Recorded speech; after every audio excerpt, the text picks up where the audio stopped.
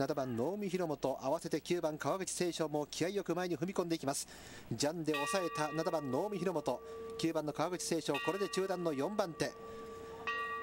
第2センターから4コーナーカーブ。7番能見そして3番の長谷4番の藤原俊樹を握りましたが5番の藤田誠早めに巻き返す最終周回です。9番の川口清翔がこの位置から抜け出せるかどうか。2番の小川大地とこの辺り後方です。ちょっと愛知勢連結乱れまして2コーナーからバック。川口清翔は4番手潜り込んでいきましたが2番の小川大地8番手から今度は外目追い上げていきました。現在は9番の川口4番手で再度追い上げた。2番の小川大地は5番手アウトコース。2センター4番手縦に踏み込んで9番の川口4コーナーから直線です。先頭7番の能見から一気に中段から追い込んだか9番川口2番の小川大地か？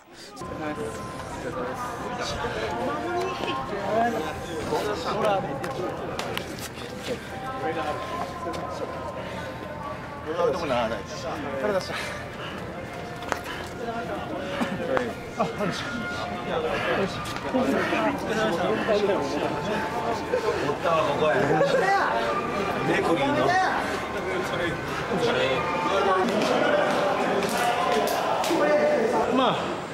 中団中団っていう感じだったんですけど、まあうまいこと立ち立ち直れたなと思って、でも森圭がちょっと外れちゃったんでそこだけですね。ラインにワンツースリー決めたかったですけど、ワンツーは決まったんですけど森圭だけ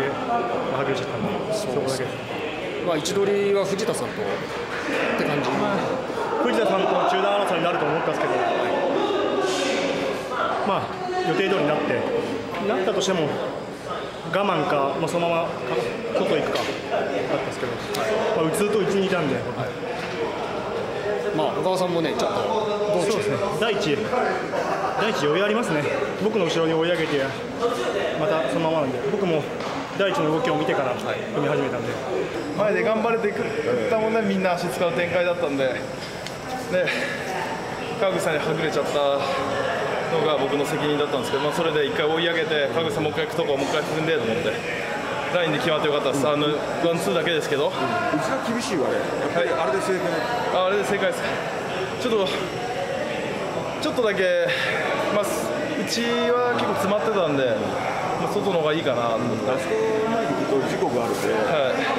それ余裕あったし、追い上げて外から、はい。で、まあ、行ってまいるぐらいの勢いやったけどそこがやっぱり連携があるもんねそうですね、行っちゃっても、あの前で頑張ってくれる川口さんに申し訳ないなと思って、一回足使って追い上げたんですけど、きつかったですね。はそういう面がきつかったですい、本当にきつかったです。はい。いやでも